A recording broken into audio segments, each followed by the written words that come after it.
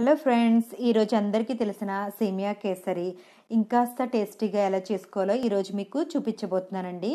ఒక కప్పు సేమియాలకి మూడు కప్పులు మిల్క్ తీసుకోవాలండి ఇక్కడ. ఫుల్ క్రీమ్ మిల్క్ తీసుకుంటే టేస్ట్ అనేది చాలా మంచిగా ఉంటుంది.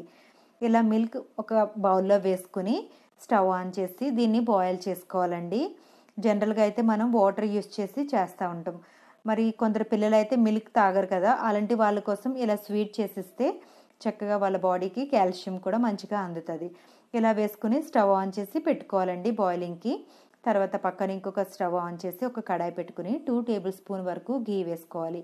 గీ కొంచెం హీట్ అయిన తర్వాత మనం పక్కన పెట్టుకున్న సేమియాలు ఇందులో వేసుకోవాలండి. ఇది సిమ్లో పెట్టుకుని చక్కగా గోల్డెన్ బ్రౌన్ వచ్చేంత వరకు కూడా మనం దీన్ని ఫ్రై చేసుకోవాలి. ఇలా తిప్పుకుంటూ ఉండాలండి. హైలో పెట్టుకుని హడావిడిగా చేసుకోకూడదు.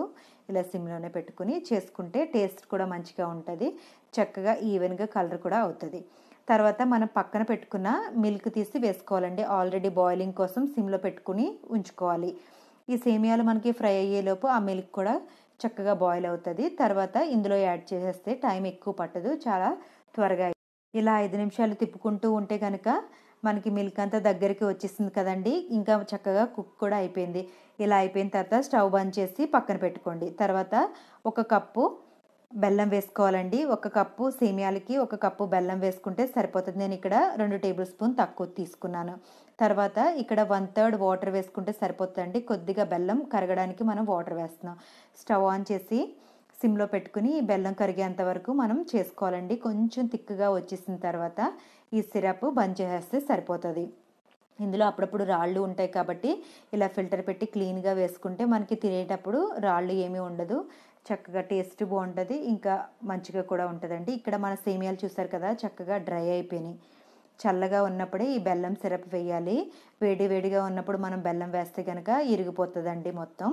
తర్వాత ఇక్కడ కొద్దిగా ఫుడ్ కలర్ కూడా నేను యాడ్ చేస్తున్నాను. ఇది వేసిన తర్వాత ఒకసారి తిప్పుకోవాలండి. ఇది టేస్ట్ అయితే చాలా చాలా బాగుంది.